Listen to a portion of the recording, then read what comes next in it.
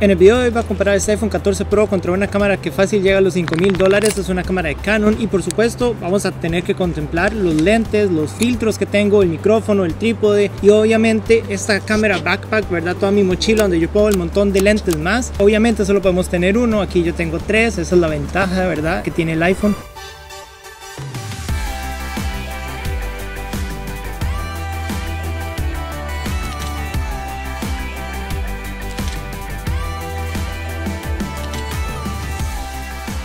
La idea aquí es simplemente ver hasta qué punto ha llegado el iPhone con todo lo que es su apartado de fotografía, porque una cámara que es 3 o 4 veces más cara, yo sé que va a ganar, pero aún así el iPhone tiene bastantes cosas muy interesantes, porque en esta generación Apple hizo algo que realmente me gusta, que le aumentaron la resolución, ahora tenemos 48 megapíxeles en lugar de los 12.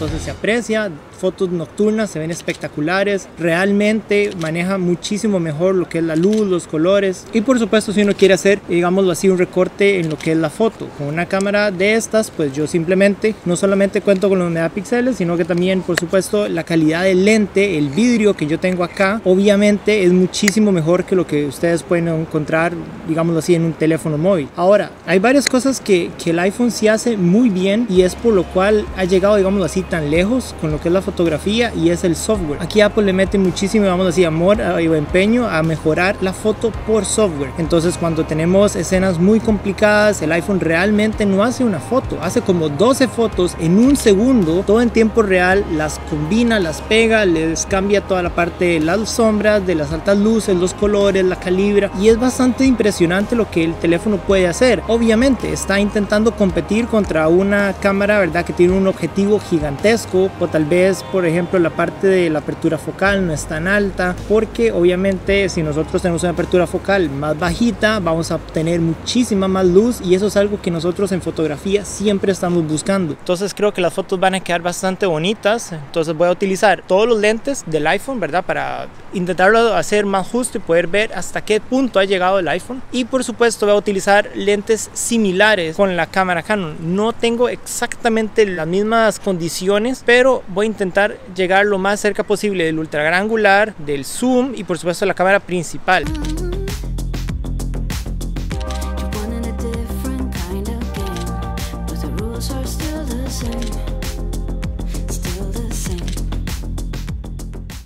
Quiero que también tengan esto muy en cuenta más megapíxeles no implica mejores fotos. Lo que importa es el sensor, la calidad del vidrio, ¿verdad? Del lente que tenemos y también, por supuesto, la magia que Apple le puede poner aquí a lo que es el iPhone.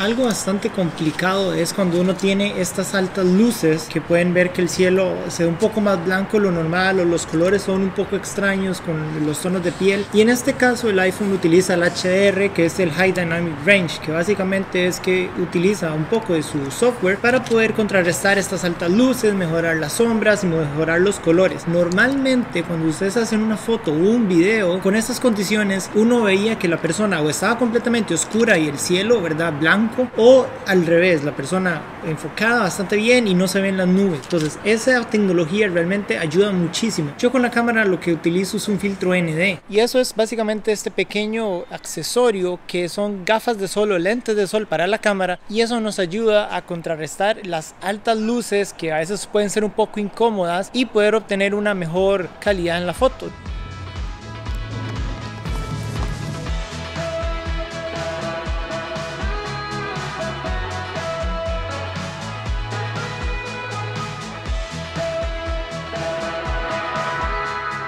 Yo también puedo utilizar ese tipo de accesorios en el iPhone, pero aunque se los puedo poner, digamos, amarrar a lo que es el lente, no lo hago. Yo prefiero utilizar, digamos, el teléfono normal, ya en la parte, digamos, automática y que haga lo que tenga que hacer. Pero con la cámara sí me gusta utilizarlo bastante porque me permite tener más luz y crear un efecto de desenfoque. Entonces, en este caso, yo ahora estoy grabando con el iPhone 13 Pro y lo que pasa es que este, la parte de atrás mía no está desenfocada, se puede ver bastante claro. Con un lente adecuado en la cámara, entonces yo podría crear ese efecto. Ahora, utilizando al iPhone con este modo cinematográfico, fue una de las cosas buenas que implementaron el iPhone 13 Pro, pero todavía no está ni perfeccionada, pero sí teníamos esa posibilidad de desenfocar el fondo. Ahora con el 14 Pro lo tenemos en 4K, entonces muchísimo mejor, cuatro veces más resolución que el iPhone 13 Pro y realmente creo que se ve mucho mejor que cuando salió en el modelo anterior, porque yo pues tengo un pelo bastante complicado de puedes desenfocar, pueden en este momento ver que en esta parte hay problemas, ¿verdad? Para poder desenfocar el fondo. Si yo estoy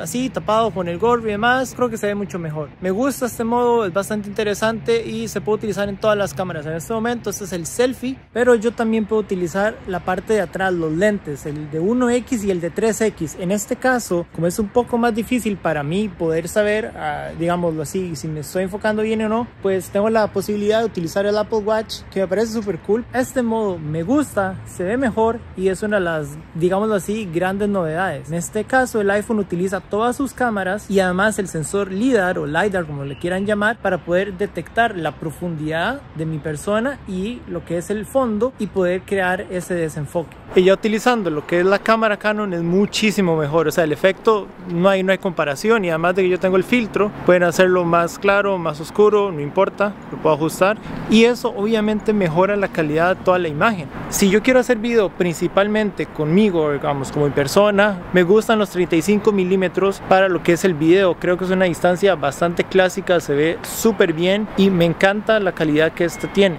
Hice un pequeño clip jugando tenis de lo que es la cámara Canon y lo que es el iPhone en un día soleado. Entonces los voy a poner para que lo puedan chequear y vean la calidad que tiene cada uno en otra condición de luz.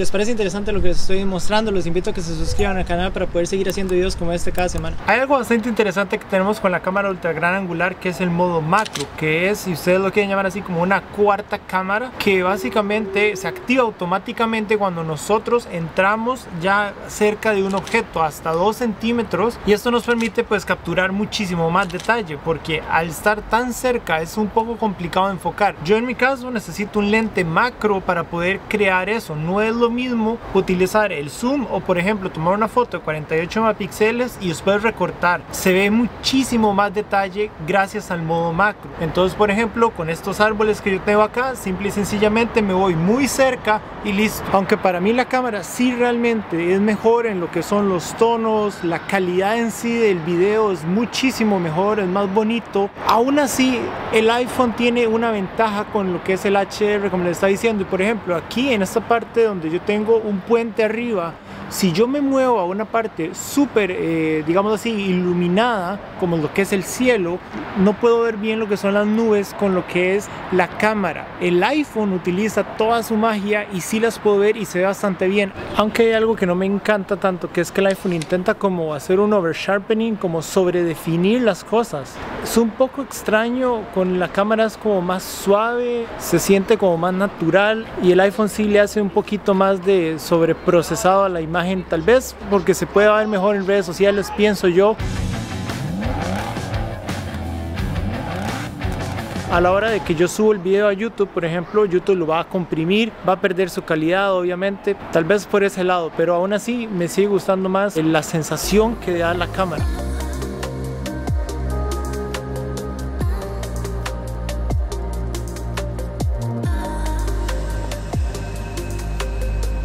Ahora estoy utilizando el modo cinematográfico en los dos. Bueno, la cámara ya lo es. Con el iPhone, la única pega que yo le veo a este modo es cuando estamos enfocando cosas que no son personas. Entonces, algún tipo de objeto, por ejemplo, estos árboles que yo tengo alrededor, es súper complicado porque las formas son muy, muy diferentes y entonces el iPhone tiene mucho problema.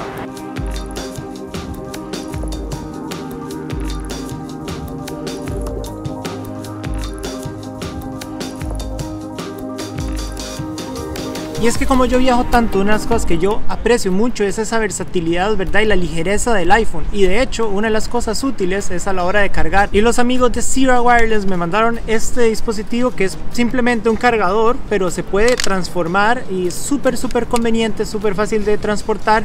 No me quita mucho campo en esta mochila porque la mayoría de las cosas son de la cámara, por supuesto. Esto es gigantesco. Pero con el iPhone, desde el 12, empezaron a hacer una tecnología que se llama MagSafe que nos permite tener imágenes adentro y de hecho hay muchísimas cosas, muchos accesorios para el MagSafe. Pueden ser billeteras que se puedan conectar o este tipo de cargadores que me permite también, por ejemplo, cargar el Apple Watch, como se los estaba contando antes, que yo lo utilizo para poder verme a la hora de hacerme un selfie con la cámara trasera del iPhone y puedo cargarlo aquí directamente. También puedo cargar los AirPods o incluso el otro iPhone, en este caso el 13 que lo estoy utilizando, ¿verdad? Entonces creo que es bastante útil y por supuesto, si les interesa este tipo de artículos, lo pueden chequear en el link en la descripción. Y muchas gracias a la gente de Sierra Wireless por apoyar el canal. También gracias a ustedes, porque sin su apoyo estos videos son absolutamente imposibles de hacer. Hablemos de las cosas nuevas en la cámara ultra gran angular, porque tienen ahora un modo que permite una estabilización espectacular. Digamos que con la cámara yo no puedo llegar a ese nivel. En el pasado yo utilizaba esto, que es un eh, estabilizador, un gimbal de DJI ya pues creo que no es necesario para bloguear y además está ok como selfie, pero ya no veo la necesidad de estabilizar más el video del iPhone porque es espectacular. En lo que él tiene es un modo que se llama Action Mode o modo acción y al utilizar la cámara ultra gran angular empieza a hacer un recorte del 4K, lo deja en 2.8K y permite que se vea básicamente como si tuviéramos un dron, de verdad es impresionante. Yo lo hice de hecho, hasta corriendo, estaba jugando tenis y lo hice corriendo y se ve increíble. Obviamente la calidad decrece, pero el hecho de que se pueda estabilizar de esa forma es algo que la cámara no puede hacer. Hay que comprar un gimbal especialmente para la cámara que son gigantes y pesados. Y bueno, pues el iPhone todo lo hace con software. Ahora, valga decir que la cámara sí tiene la opción de estabilización. O sea, dentro del propio sistema existen formas de estabilizar lo que es el video y también lo que son los lentes. No todos los lentes tienen. Por ejemplo, un lente pequeño de 50 milímetros, este no tiene estabilización, pero hay lentes más grandes. Por ejemplo, este que yo tengo que es un zoom, tiene estabilización. Eso ayuda obviamente y en postproducción también puedo utilizar, ¿verdad? Gracias a la resolución de 4K puedo forzar la estabilización y aunque pierda un poco de detalle se va a ver bastante bien. Pero ahora aquí caminando, por ejemplo, con, con estas calles que tienen un poco de piedra, pues la diferencia es muy muy grande para mí. El iPhone es muchísimo mejor en lo que es estabilización. En la calidad en sí del video me quedo con la Canon, pero creo que la belleza del iPhone es la versatilidad que nos da, porque, o sea, ojo la diferencia. Solamente este lente ya pesa lo que pesa el iPhone. No es más, pesa más este lente. Entonces, yo necesito siempre, obviamente, tener algo así, una mochila para poder poner todo el equipo de fotografía, porque tengo que llevar varios lentes siempre conmigo, los filtros para evitar, ¿verdad?, que se queme el cielo, por ejemplo no sé, son tantas cosas, es un poco pesado. En su momento yo estaba viajando solamente con un iPhone, eh, cuando tenía el iPhone 11 Pro, por ejemplo, que fui a las montañas en Italia. Y la verdad es que se agradece cuando uno puede viajar ligero, pero obviamente cuando uno empieza ya a introducirse en lo que es el mundo de la fotografía o ya cuando es un trabajo, por ejemplo en mi caso, yo necesito estar siempre utilizando un equipo de este calibre. El iPhone para mí simplemente es una herramienta espectacular para poder hacer buenas fotos. Cuando uno dedica un poco de tiempo a la edición y demás, se pueden obtener cosas impresionantes. Ya también comparé este teléfono con, por ejemplo, el iPhone 13 Pro, que lo tengo acá. Y la verdad que sí se aprecian buenas diferencias, sobre todo de noche y de nuevo con esta nueva forma del video. Y el único lente que sí que no puedo comparar bien es el ultra gran angular. Y es que el ultra gran angular del iPhone es de 13 milímetros y pues no tengo de ese calibre. Aún así, digamos, si yo quiero hacer fotos de lugares como este, que está toda esta estructura encima mío, no, no puedo con este lente, entonces tendría que utilizar algo así. Puedo irme a 24 milímetros, pero obviamente hay que desarmar la cámara, quitar el lente, cambiar. Y es un poco incómodo porque puede entrar un poco de basura al sensor, polvo, etcétera. En cambio con el iPhone es un botón y listo. Algo súper útil que tenemos ahora con el iPhone es el autofoco con la cámara de selfie, algo que no teníamos antes y eso funciona en cualquier modo, por ejemplo en modo retrato o modo selfie normal y realmente es bastante útil.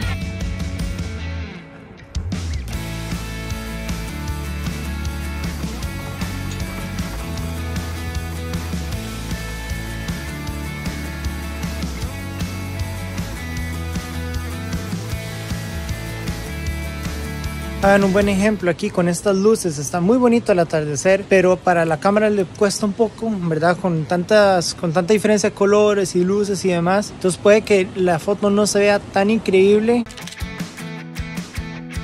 a primeras impresiones como lo puede ser el iPhone, porque el iPhone simplemente va a usar el HDR y todo se ve mucho mejor. Es más fácil, es más cómodo, pero obviamente la capacidad que nosotros tenemos con una cámara de estas a la hora de postproducción es mucho mejor. Y aquí utilizando el iPhone sin nada especial, sin ya el micrófono, simplemente la calidad propia del selfie. Todo al final de cuentas depende de la creatividad de la persona, porque de nada me sirve todo eso si yo no dedico tiempo a aprender a editar mis fotos o los videos, a hacer mejores composiciones, etcétera, etcétera. De nada me sirve todo ese montón de equipo porque lo que más importa está aquí, es la creatividad. Yo igual puedo hacer lo mismo con el iPhone. Claramente la calidad per se de lo que es la cámara, al final de cuentas sí es mejor. Las dos son herramientas que aprecio muchísimo, pero es muy divertido poder hacer este tipo de comparaciones porque cada vez más el iPhone intenta, ¿verdad?, llegar a este, a este nivel. Les voy a linkear aquí el 14 Pro contra el 13 Pro de noche, que creo que está bastante interesante y nos vemos en el siguiente video. Chao.